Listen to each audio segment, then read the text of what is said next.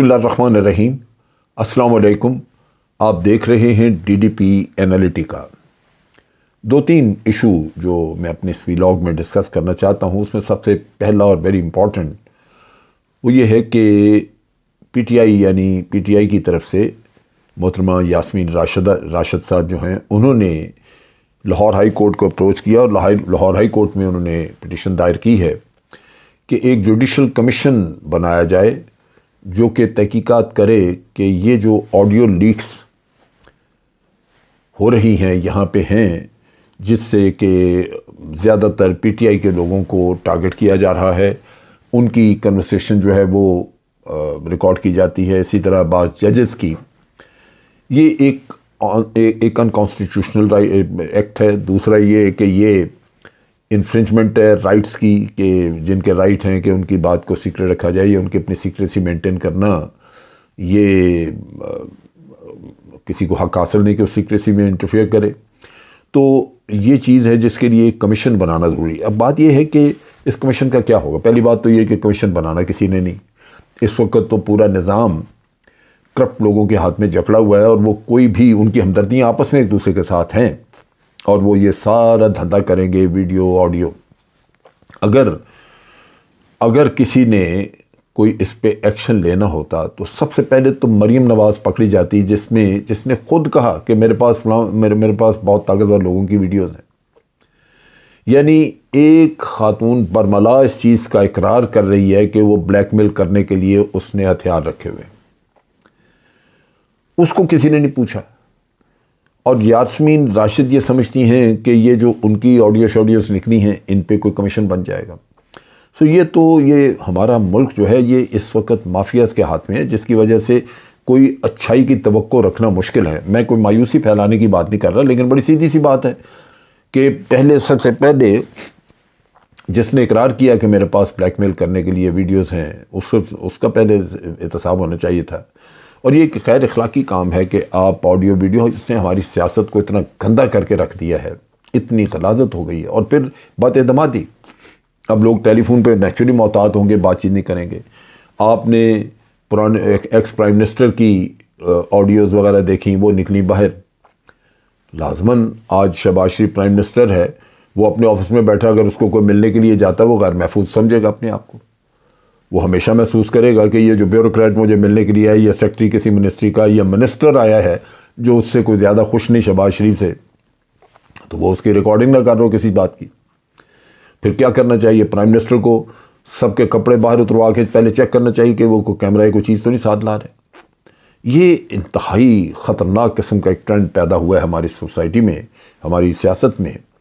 इसको किसी न किसी तरह चेक करना लेकिन मुझे तो नहीं कि ये जो तबका है ये चेक करेगा। सो so, एक तो ये बड़ा इंपॉर्टेंट इशू और इस पर अवाम डेफिनेटली उनको चाहिए कि अपनी राय भी दे और जो अवामी नुमाइंदे पार्लियामेंट में बैठे हुए हैं उनको चाहिए कि वो इस पर रायजा नहीं करें क्योंकि वो भी गैर महफूज हैं इस मामले में। दूसरी जो चीज़ हुई आज प्राइम मिनिस्टर ने एक तो यूथ वगैरह को एड्रेस किया उन्होंने एक इसी तरह उन्होंने एड्रेस किया शबाज शरीफ ने एपेक्स कमेटी को, जो कि बड़े सीनियर लोग उसमें बैठते हैं, दोनों में उन्होंने एक दो बातें की, जो कि जिनमें इंतहाई ज़्यादा मुनाफ्त नज़र आती है और वो उनका ज़िक्र करना इसलिए ज़रूरी है कि एक पर्सपेक्टिव को दुरुस्त किया जाए, क्योंकि हमारे लीडर अक्सर लूटते भी हैं, सब कुछ हर तरह के जनाइम करके, ख़ुद जो कुछ करते हैं वो जायज़ समझते हैं और दूसरे को उसी चीज़ के ऊपर कहते हैं कि ये बहुत बड़ा मुजरम है। पहले तो बात यह कि शबाज शरीफ साहब ने प्राइम मिनिस्टर, प्रेसिडेंट को क्वेश्चन किया, उसको एक तरह से ख़बरदार किया कि आप गैर आइनी इकदाम उठा रहे हैं। आपने जो ख़त लिखा, चीफ इलेक्शन कमिश्नर को, वो आपको नहीं लिखना चाहिए था। इसके दो पहलू हैं। पहली बात तो ये कि सदर सदर ममलिकत को कोई चीज़ माने नहीं कि वो ख़त, यहाँ पे टेलीविज़न प्रोग्राम्स में हमने देखा मुख्तलिफ़ कानूनी माहरीन ने इस पर अपनी वजाहतें दी और शहबाज शरीफ कोई कानूनी माहिर नहीं है। ये सिर्फ़ अपनी ताकत का, अपने अहदे का फ़ायदा उठाते हुए तो फतवे सादर कर रहे हैं, जबकि बड़ी सीधी सी बात है कि जब मुल्क में एक आइनी जमूद है और आइन पे कोई अमल करने को तैयार नहीं, नब्बे दिन वाली कंडीशन पूरी करने को कोई तैयार नहीं तो सदर ममलिकत की इंटरवेंशन जो है, वो आइन के मुताबिक है। लेकिन यहाँ पे उनको मुतनबा किया जा रहा है। उनको कहा जा रहा है कि जी, आप खबरदार ये काम आप ना करें। और हमायत की जा रही है चीफ इलेक्शन कमिश्नर की, जिसने इंतहाई ज़्यादती से काम लिया कि सदर ममलिकत उसको बुला रहे हैं एक मीटिंग के लिए और उसने जाने से इनकार कर दिया, ख़त लिख दिया कि जनाब आपका कोई ताल्लुक नहीं। हालाँकि जो नॉर्मल एटिकेट्स हैं, जो यहाँ पे हमारे अगर थोड़ी बहुत रवादारी का भी सामने रखा जाए तो ज़रूरत इस बात की ये थी कि यह तरीक़ाकार ये होता कि ये चीफ इलेक्शन कमिश्नर प्रेसिडेंट के पास जाते, हाज़िर होते और वहाँ जाके कह सकते थे, अपना मुद्दा बयान कर सकते थे कि जनाब ये आपने कहा, मेरा नुक्ता नज़र ये है।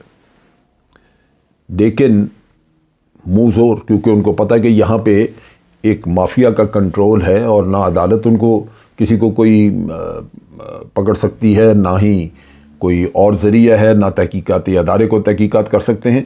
तो मनमानी चल रही है, जिसको मर्ज़ी अंदर बंद कर दो, जिसको मर्ज़ी छोड़ दो। सो ये जो कोलिशन पार्टनर्स की इनकी मीटिंग थी, वहाँ बैठ के इन्होंने ये बातें की प्राइम मिनिस्टर ने। और प्रेसिडेंट आरिफ अलवी के बारे में कहा कि उसको कतन ये ख़त नहीं लिखना चाहिए था, और जो कुछ भी सिकंदर सुल्तान साहब ने किया सिकंदर सुल्तान राजा ने, वो उसने ठीक किया। और, जो तारीख़ें वगैरह देने का काम है, वो जो कुछ भी सिकंदर सुल्तान राजा करेंगे, हमें वो कबूल होगा और हम उसके लिए तैयार हैं, उस पर अमल करेंगे विल ऑनर उनका जो उनका जो जो कुछ भी कहना होगा, हम उसको ऑनर करेंगे। वो क्यों नहीं करेंगे? वो तो आपको पता है कि राजा साहब आपकी जेब में है। अभी तक कौन सा एक भी काम ऐसा है, जो मैं समझूं कि राजा साहब ने वो गैर जानदाराना तरीके से किया है। पिछले एक दो चीज़ें तो जो हुई उसमें तो मुकम्मल तौर पे खुल गया मामला। ये जो आपने देखा कि जो केयर टेकर्स अपॉइंट किए हैं, उसके बाद तो कोई शक ही नहीं रहता कि आपने सौ फ़ीसद जानबदारी का सबूत दिया।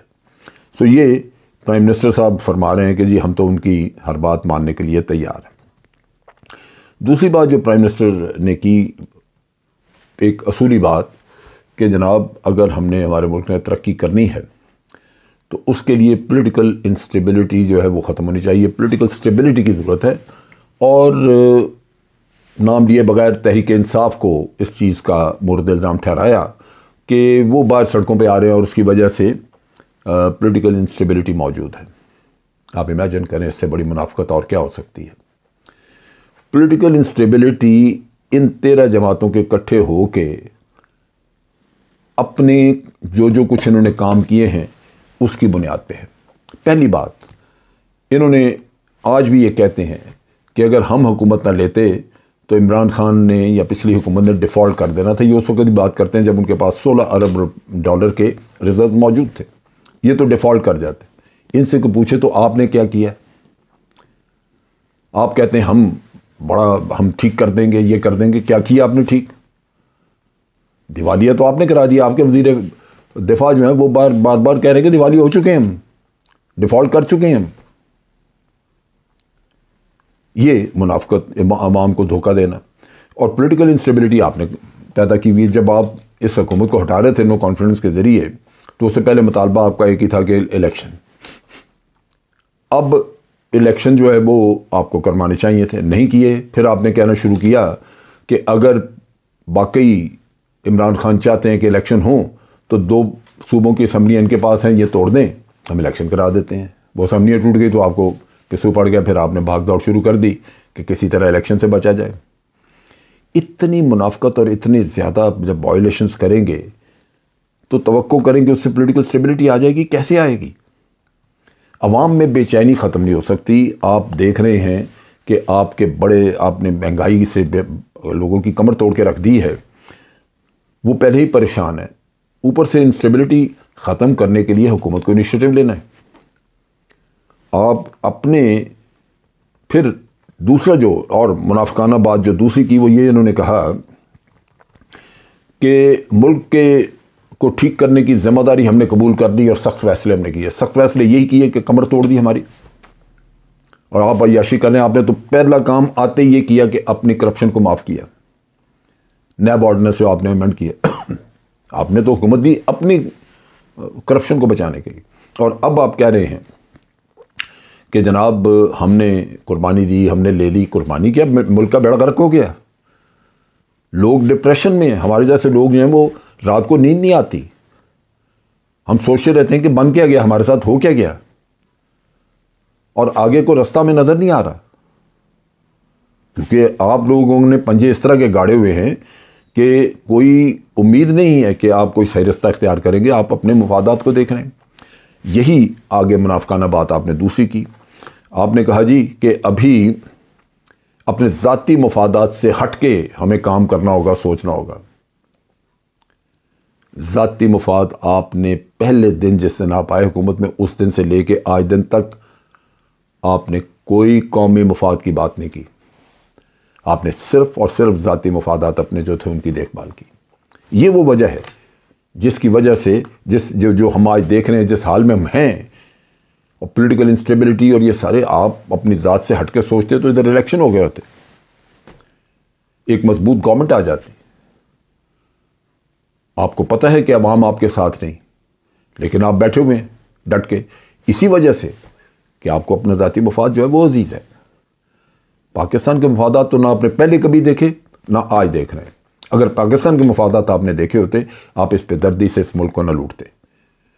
आज आपकी दौलतें बाहर पड़ी हुई हैं। मुल्क दिवाली है अगर मुल्क के अंदर आपको आपको मुल्क का कुछ ख्याल हो तो आप अपना पैसा सबसे पहले अंदर लेके आए। वो आपका पैसा खाया नहीं जाता, वो बैंकों में होता। इसी तरह जैसे सऊदी अरबिया ने अपना पैसा दिया हुआ आपको कर्ज के तौर पे, या आपके बैंकों में रखाया हुआ है। आपका पैसा भी महफूज होता है लेकिन आप इतने बेरहम हैं।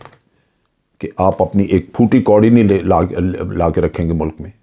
सब कुछ यहाँ से जाके बाहर पहुँचेगा और आपकी ज़िंदगियाँ वहाँ पे एक बाहर गैर मुल्क गैर मुल्क में आप अपनी एक जन्नत बसा के बैठे होंगे। यहाँ लोग रोते रहे मरते रहें बर्बाद होते रहे मुल्क दिवालिया होता रहे। ये आप अपने मफादात से हट के बात कर रहे हैं। तो ये इतना बड़ा एक झूठ और इसके साथ साथ एक ऐसा नेक्सस एक ऐसा माफिया का नेटवर्क जिसने मुल्क को जकड़ा हुआ है कि कोई चीज़ ना इधर हिल सकती है, ना उधर हिल सकती डर यही आता है कि ये ना हो किसी दिन लोगों के सब्र के पैमाने फट जाएँ और फिर उसके बाद ये ना हो कि यहाँ पे इतनी कानूनीत हो जाए कि हम उस हाल से भी जाएँ जो आज हैं। तो इस वजह से अगर आपको ये एहसास है कि पोलिटिकल स्टेबिलिटी चाहिए, अगर आपको ये याद है, आपको पता है कि अपने मफादात से हट के बात होनी चाहिए तो सबसे पहले आपको एक तरफ़ होना चाहिए। आप लोगों को इलेक्शन करा के अवाम के मंगों के मुताबिक जो हुकूमत बनती है, उसको चार्ज दे के, उसको उसको इकतदार दे के तो आपको अपने घरों में जाना चाहिए। हकीकता तो आपके ऊपर मुकदमात बनने चाहिए, जो मुल्क के साथ आपने किया है। लेकिन बाहर सूरत अगर किसी वजह से, माफिया से आपकी जान छूट जाए इस मुल्क की तो वो भी मैं समझता हूँ कि आपकी खुशकस्मती होगी। अब तक के लिए इतना ही। अफवाज पाकिस्तान जिंदाबाद, पाकिस्तान पाइंदाबाद।